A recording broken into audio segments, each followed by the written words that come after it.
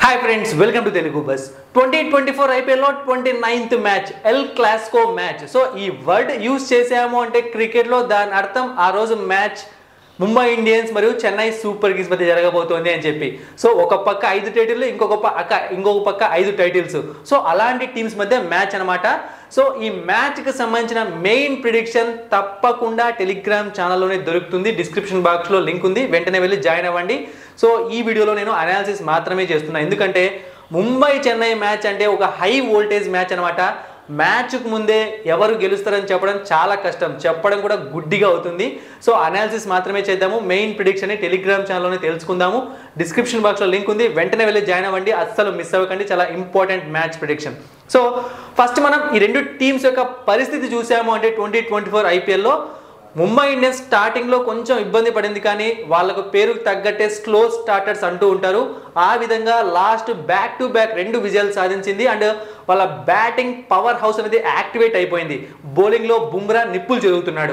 ఇక Chennai super Kings విషయానికి వచ్చాము అంటే కొంచెం అలా స్లైడ్గా గాడి తప్పి మళ్ళీ గేమ్లోకి వచ్చేసారు. లాస్ట్ మ్యాచ్ వాళ్ళు కూడా గెలిచేశారు.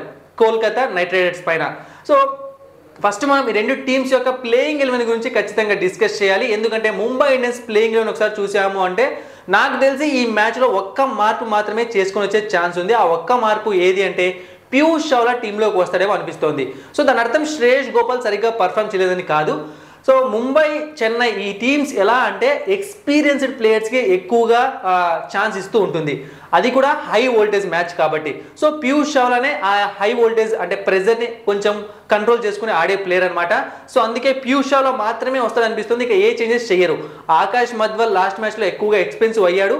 బట్ నాకు ఎందుకో అతను అలాగే కంటిన్యూ చేస్తారు అనిపిస్తుంది ఇంకొక ఛాన్స్ ఇస్తారు అనిపిస్తుంది సో ఒకసారి మనం ముంబై ఇండియన్స్ ప్లేయింగ్ ఎలెవెన్ చూసాము అంటే Rohit Sharma Ishan Kishan Suryakumar Yadav Tilak Varma Tim David Hardik Pandya Gerald Coetzee Jasprit Bumrah Mohammad Nabi Romario Shepherd Akash Madhwal.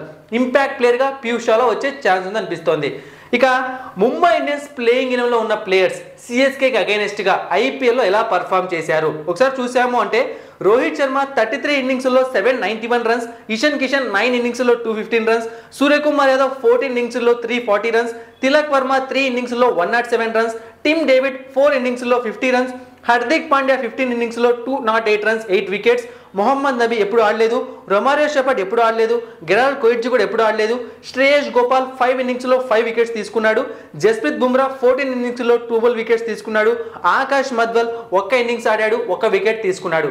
So ఈ విధంగా ఉంది ముంబై ఇండియన్స్ ప్లేయర్స్ యొక్క పర్ఫార్మెన్స్. సో వీళ్ళ playing eleven గురించి కొంచెం discuss చేయాలన్నమాట. అదేంటి అంటే రోహిత్ శర్మ ఇషాన్ కిషన్ సూర్యకుమార్ యాదవ్ ఇద్దరు ప్రైమ్ అంటే చాలా మంచి ఫామ్లో ఉన్నారనమాట మనం చూసామంటే రోహిత్ శర్మ దగ్గర నుంచి కన్సిస్టెన్సీగా క్విక్ నాక్స్ వస్తూనే ఉన్నాయి. ఇషాన్ కిషన్ కూడా చాలా మంచి టచ్లో కనిపిస్తున్నాడు. Suryakumar Yadav seventeen balls fifty చేశాడు అగైనెస్ట్ రాయల్ ఛాలెంజర్స్ బెంగళూరు ఇక నెక్స్ట్ చూసాము అంటే హార్దిక్ పాండ్యా లాస్ట్ మ్యాచ్ మంచిగా ఆడాడు. బట్ అతనైతే అంత టచ్లో కనిపించట్లేదు. ఇది పక్క. ఇక తిలక్ వర్మ దగ్గర నుంచి కూడా మనం ఒక మంచి ఇన్నింగ్స్ చూసాం. ఎప్పుడు అంటే సో ఎప్పుడైతే సన్ రైజర్స్ హైదరాబాద్ వీళ్ళపైన రెచ్చిపోయి పర్ఫామ్ చేసిందో ఆ రోజు. సో బట్ అతను మినిమం గ్యారంటీ ప్లేయర్ అనమాట ఖచ్చితంగా థర్టీ ఫార్టీ రన్స్ చేసే ప్లేయర్. అతని గురించి మనం టెన్షన్ పడాల్సిన పని లేదు. ఇక ఫినిషింగ్లో టిమ్ డేవిడ్ ఈ మనం చూసాం అన్ని మ్యాచ్లో మంచి టెస్ట్లో కనిపిస్తున్నాడు. ఇక రొమారియో షెపర్డ్ కూడా మంచిగానే పర్ఫామ్ చేశాడు ఒకనొక మ్యాచ్లో. సో బ్యాటింగ్ వైజ్ వీళ్ళకి ఎటువంటి ఇష్యూస్ లేవు. ఒక రాజస్థాన్ మ్యాచ్లో మాత్రమే ఫెయిల్ అయ్యారు కానీ ప్రతి మ్యాచ్లో మ్యాచెస్ ఓడిపోతున్నా వాళ్ళ బ్యాటింగ్ డిపార్ట్మెంట్ ఫైర్ అవుతూనే ఉంది. సో ప్రాబ్లం బౌలింగ్లోనే ఉంది. అంటే జస్ప్రీత్ బుమ్రా పైన ఎక్కువగా డిపెండ్ అవుతున్నారు. ఎందుకంటే బుమ్రా ఇంతవరకు ప్రతి మ్యాచ్లో హిట్ అయిపోయాడు. ఏ మ్యాచ్లో కూడా అతను రన్స్ ఎక్కువగా ఇవ్వలేదు. సో ఇక మిగతా వాళ్ళని చూసాము అంటే గెరాల్డ్ కోయిడ్జీ కన్సిస్టెన్సీ ప్రాబ్లమ్స్ కనిపిస్తున్నాయి. ఇక శ్రేయస్ గోపాల్ మన వచ్చాడు పర్వాలేదు అనిపించాడు బట్ పీయూష్ వాళ్ళు వస్తాడని చెప్పాను. ఛాన్సెస్ ఆర్ దేర్ ఇక నెక్స్ట్ మనం చూసామంటే ఆకాష్ మదల్ ఫెయిల్ అయ్యాడు రొమారో షెపర్డ్ కూడా మొహమ్మద్ నబీ. సో వీళ్ళందరూ పెద్దగా అంటే ఎక్స్పీరియన్స్ ఉన్న ప్లేయర్స్ కాదు ఐపీఎల్లో సో ఈ విధంగా ఉంది ముంబై ప్లేయింగ్ ఎలెవెన్ ఇక సిఎస్కే ప్లేయింగ్ ఎలెవెన్ ఎలా ఉండే ఛాన్స్ ఉంది?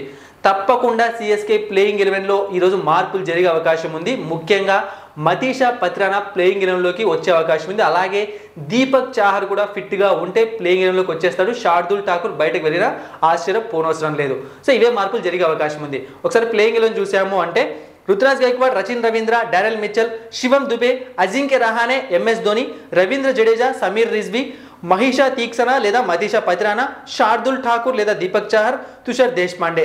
ఇంపాక్ట్ ప్లేయర్గా ముస్తఫిజుర్ రెహమాన్.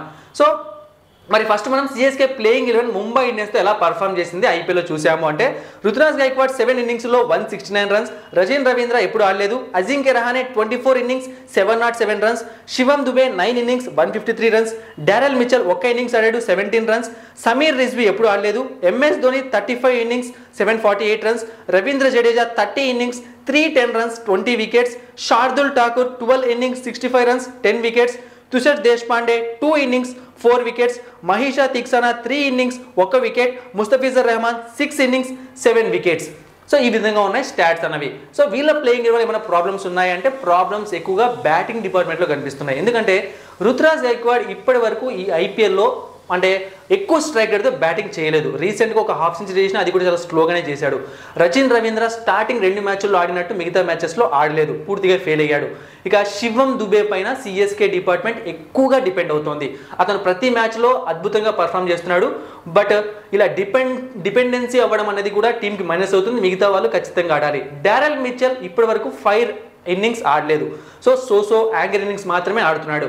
ఇక రవీంద్ర జడేజా కూడా అంత ఫామ్లో కనిపించలేదు బ్యాటింగ్లో ఇక అజింక్య రహానే మనకు తెలుసు ఎలా పర్ఫామ్ చేశాడో ఈ ట్వంటీ ట్వంటీ ఫోర్ ఐపీఎల్లో పెద్ద ఇంపాక్ట్ ఇన్నింగ్స్ లేదు చాలా తక్కువగానే కనిపిస్తున్నాయి. సో ఎటు చూసినా సరే బ్యాటింగ్ డిపార్ట్మెంట్లో సిఎస్కేలో చాలా ప్రాబ్లమ్స్ కనిపిస్తున్నాయి. వీళ్ళు కొన్ని మ్యాచెస్ ఓడిపోవడానికి కారణం కూడా ఆ బ్యాటింగ్ డిపార్ట్మెంట్ ఫెయిల్ అవ్వడమే. బౌలింగ్ డిపార్ట్మెంట్ వెళ్ళేది పర్వా బాగానే ఉందన్నమాట. ఎందుకంటే జడేజా బౌలింగ్లో అద్భుతంగా బౌలింగ్ చేస్తున్నాడు. తుషార్ దేశ్పాండే అద్భుతంగా బౌలింగ్ చేస్తున్నాడు. మతీష పత్రిన ఆడిన ఒక మ్యాచ్లో అద్భుతంగా బౌలింగ్ చేశాడు. ముస్తఫిజర్ రెహమాన్ ప్రతిసారి తన స్లోర్ బాల్స్ని యార్కర్స్ని ఎగ్జిక్యూట్ చేస్తూ అద్భుతంగా వికెట్ తీసుకొని పర్పుల్ క్యాప్ రేస్లో ఉన్నాడు. సో ప్రాబ్లం మనకు కనిపిస్తోంది కూడా కేవలం బ్యాటింగ్ డిపార్ట్మెంట్లోనే ముంబై బ్యాటింగ్ డిపార్ట్మెంట్ అంత స్ట్రాంగ్గా ఉంది.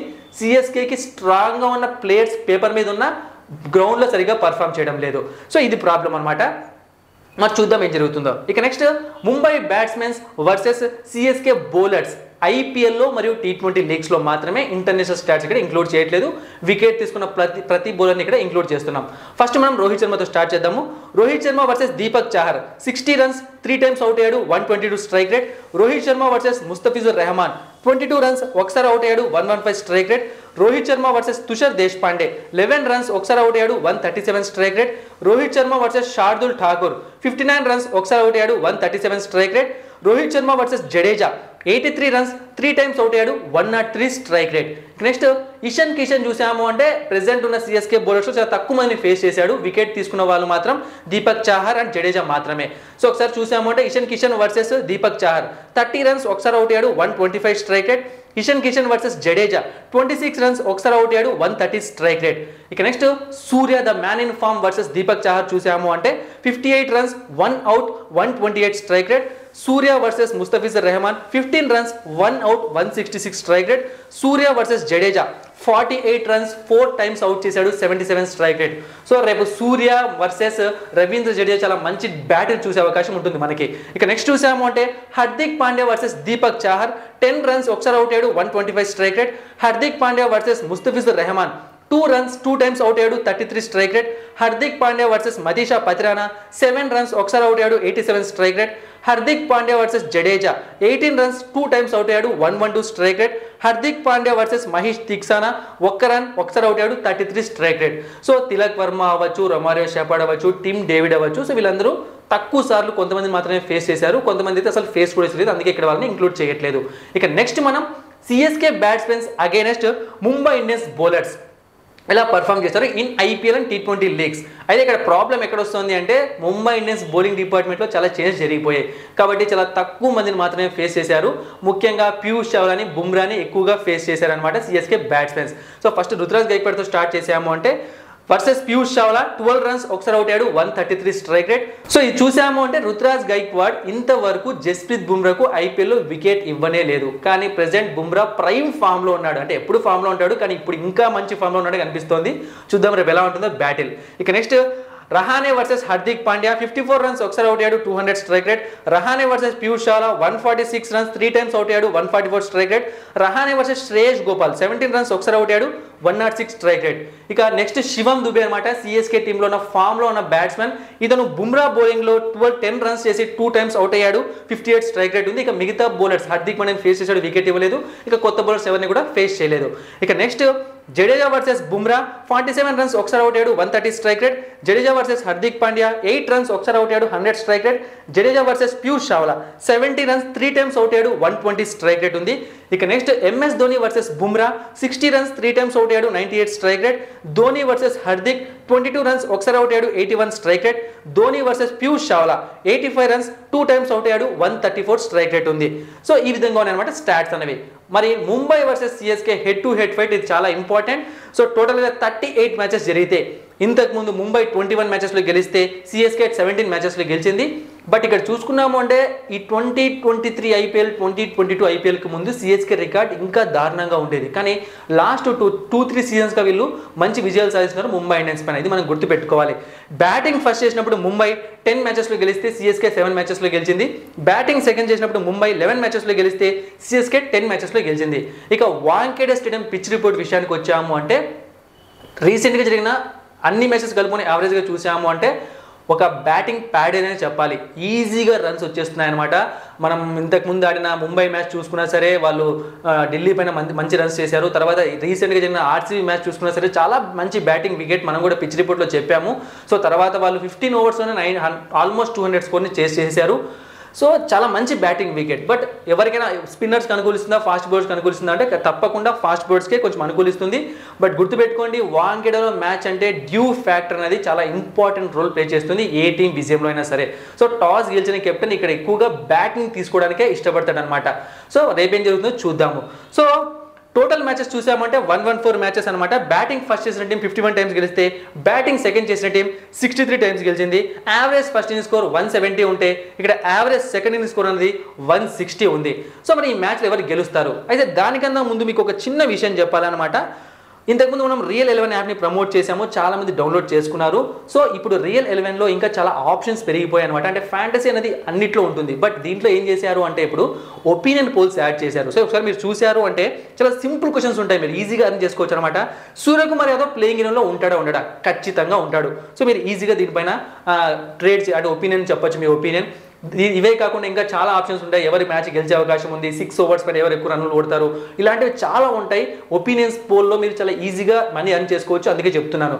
ఇక నెక్స్ట్ ఇంకోటి ఏంటి అంటే మీకు ఇందులో ఎంవీపీ అని చెప్పి ఒక ఆప్షన్ ఉంటుంది. ఇది మ్యాచ్ స్టార్ట్ అయ్యే ముందు ఓపెన్ అవుతుంది. మ్యాచ్ రోజు ఓపెన్ అవుతుంది అనమాట ఫర్ ఎగ్జాంపుల్ చూసామంటే ఇక్కడ మీకు చూపిస్తున్నాను. సో రెండు ఉంటాయి ఆప్షన్స్. రెండిట్లో ఎవరో ఒకరిని మాత్రమే సెలెక్ట్ చేసుకోవాలి. ఆ ఒక్కరిని సెలెక్ట్ చేసుకుంటే ఆ రోజు ఎవరైతే ఎక్కువ ఫ్యాంటసీ పాయింట్స్ వస్తాయో వాళ్ళు విన్ అయినట్టు అనమాట సో అలా చూసుకున్నప్పుడు ఇక్కడ మనం చూసాము అంటే చాహలు పరాగు ట్రెంట్ బోల్ట్ ఇలా ఉన్నారనమాట సో ఎవరు గెలిచే అవకాశం మనం ప్రిడిక్ట్ చేయాలంటే రెండు ఆప్షన్స్ ఇస్తారు. కొన్నిసార్లు ఏమవుతుందంటే ఒక ఆప్షన్లో ప్లేయింగ్ లేని ప్లేయర్స్ కూడా ఉంటారు. సో అలాంటి టైంలో మీరు ఈజీగా మనీ అర్న్ చేయొచ్చు. సో అందుకే డిస్క్రిప్షన్ బాక్స్లో మీకు రియల్ ఎలెవెన్ యాప్ లింక్ ఉందన్నమాట. మనం పెట్టాము. ఆ లింక్ ద్వారా వెళ్ళి డౌన్లోడ్ చేసుకోండి. మీకు చాలా ఆప్షన్స్ అంటే ఆఫర్స్ వస్తాయి. దాంతో పాటుగా ఒకవేళ మీకు అక్కడ కోడ్ ఏదైనా అడిగితే టీఈఎల్యుజియు తెలుగు అని చెప్పి టైప్ చేయండి. మ్యాక్సిమం అడగదు. అడిగితే మాత్రం టైప్ చేయండి. యూజ్ అవుతుంది. ఫ్యాంటసీ మాత్రమే కాకుండా లూడో గేమ్స్ ఇలాంటివి ఎన్నో చాలా ఉంటాయి. అస్సలు మిస్ అవ్వకండి. సో ఇక మనం మ్యాచ్ ప్రిడిక్షన్ విషయానికి వచ్చామంటే నేను ఆల్రెడీ చెప్పాను అనమాట ఈ మ్యాచ్ ప్రిడిక్షన్ నేను తప్పకుండా టెలిగ్రామ్ ఛానల్లో ప్రొవైడ్ చేస్తాను. డిస్క్రిప్షన్ బాక్స్లో లింక్ ఉంది. వెళ్ళి జాయిన్ అవ్వండి. ఇక్కడ ఏది ఫేవర్ అని చెప్పినా కూడా అది కొంచెం రాంగ్ ఇంటెన్షన్గానే బయటకు వెళ్తుంది అనమాట అంటే రాంగ్గానే తీసుకుంటారు మీరు. ఎందుకంటే రెండు టీమ్స్ హై వోల్టేజ్ మ్యాచెస్ ఆడబోతున్నాయి. సో తప్పకుండా టెలిగ్రామ్ ఛానల్లో జాయిన్ అవ్వండి. Thank you for watching and supporting మీ మరిన్ని ఇంట్రెస్టింగ్ వీడియోస్ కోసం సబ్స్క్రైబ్ చేయడం మర్చిపోకండి.